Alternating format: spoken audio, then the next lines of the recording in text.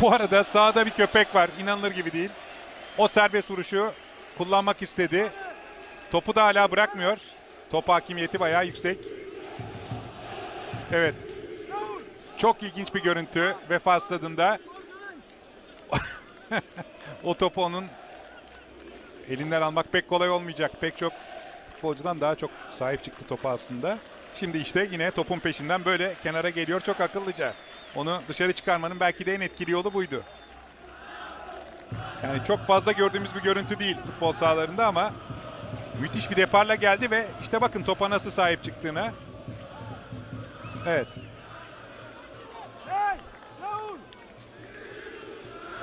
Belli ki burada bayağı bir antrenman yapmış. Şimdi kaptan Zeki baktı ki olmayacak onu aldı kucakladı. Sahanın dışına işte böyle çıkarıyor. Demirlerin dışına çıkarmazsa tekrar geri gelir o. Evet. Ona bir zarar vermeden en doğru şekilde tribünlere çıkardı. Çünkü futbol oynamaya çok hevesli bir köpek.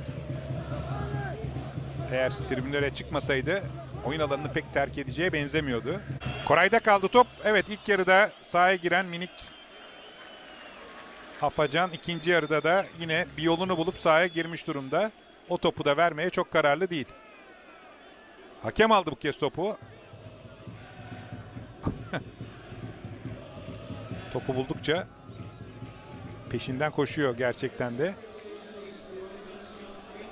Evet ilk yarıda olduğu gibi ikinci yarıda da oyun durdu onun yüzünden.